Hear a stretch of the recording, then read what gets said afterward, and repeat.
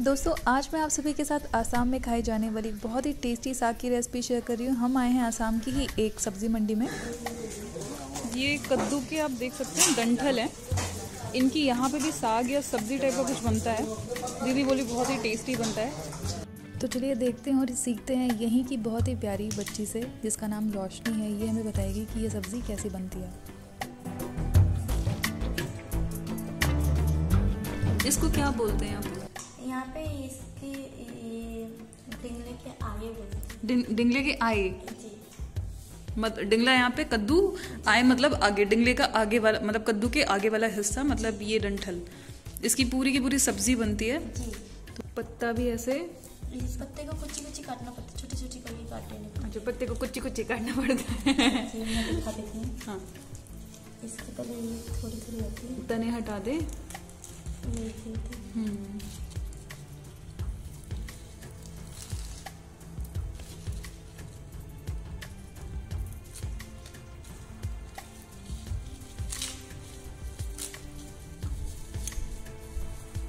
साग की तरीके से।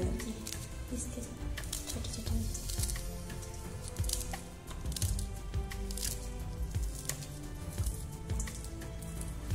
इसी तरीके से सारा काटना है। देखिए छोटा सा कद्दू। लेकिन ये भी कट जाएगा। यहाँ पे डाल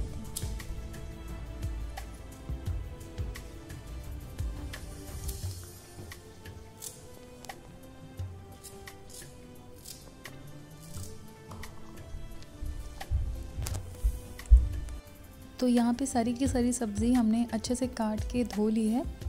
अब चलिए बनाना सीखते हैं इसका साग।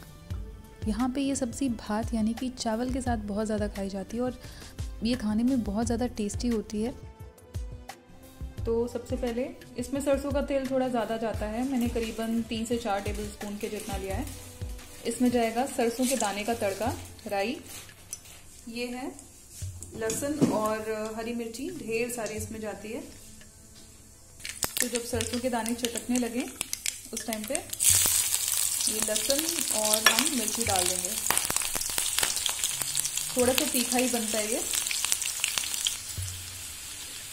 जो लहसुन है थोड़ा ब्राउन होना शुरू हो गया है, बिल्कुल ब्राउन नहीं हुआ है। इस टाइम पे हम डाल देंगे एक या फिर आपको जितना भी आलू पसंद हो साग में, उतना। तो यहाँ पे मैं कच्चे आलू का इस्तेमाल कर रही हूँ पतले पतले स्लाइसेस में। आप चाहे तो उबाल के भी डाल सकते हैं।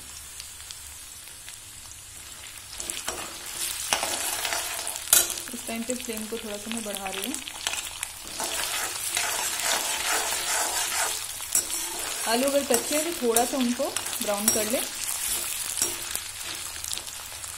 इस साग में दोस्तों तेल थोड़ा सा ज़्यादा इस्तेमाल होता है, क्योंकि एक तरीके से जैसे स्टे फ्राई वेजिटेबल्स होती हैं, उसी तरीके से ये साग बनता है। एकदम ढक के गला के पकाया नहीं जाता। एक क्रंच बना होना चाहिए। आलू थोड़े से सुनहरे हो गए हैं। अब इस टाइम पे हम डालेंगे थोड़ा सा हल्दी, ज़्यादा नहीं। एक चौथाई छोटा चम्मच के साथ और इसी के साथ थोड़ी सी लाल मिर्च। एक चौथाई छोटा चम्मच के जितना। ये डाल के बहुत पकाना नहीं है, बस हल्दी का रंग आ जाए और तुरंत ही इसमें हम डाल देंगे साग।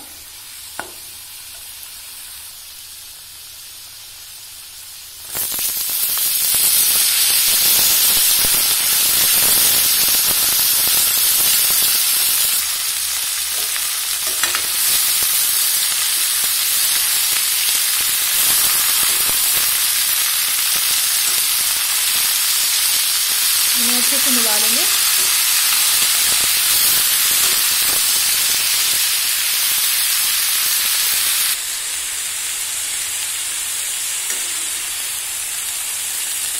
ऐसे खिले खिले बनते हैं। एकदम से गलते नहीं हैं, जैसे इसमें डंडियाँ भी यूज़ हुई हैं, लेकिन खाने में सॉफ्ट होते हैं।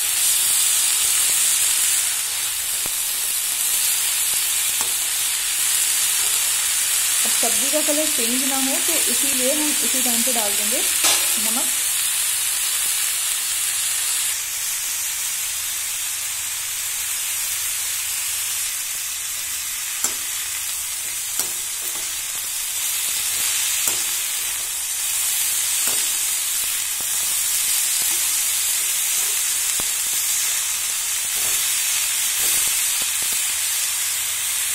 अभी आँच को थोड़ा धीमा करके इसको हम खुला करके छोड़ देंगे। दो से तीन मिनट के लिए। ये साग ढक के नहीं पकाया जाता है, खुला ही पकाया जाता है, क्योंकि इसमें थोड़ा सा क्रंच बना होता है जैसे खाता है, खाते हैं यहाँ पे ट्रेडिशनली चावल के साथ। तो आँच को मैंने कर दिया है थोड़ा धीमा। इससे पहले तेज ही था। इसको हम छोड़ देंगे दो से तीन मिनट के लिए। फिर चलाएँगे, फिर दो से तीन मिनट छोड़ देंगे। पाँच से सात मिनट में ये साग हो जाएगा।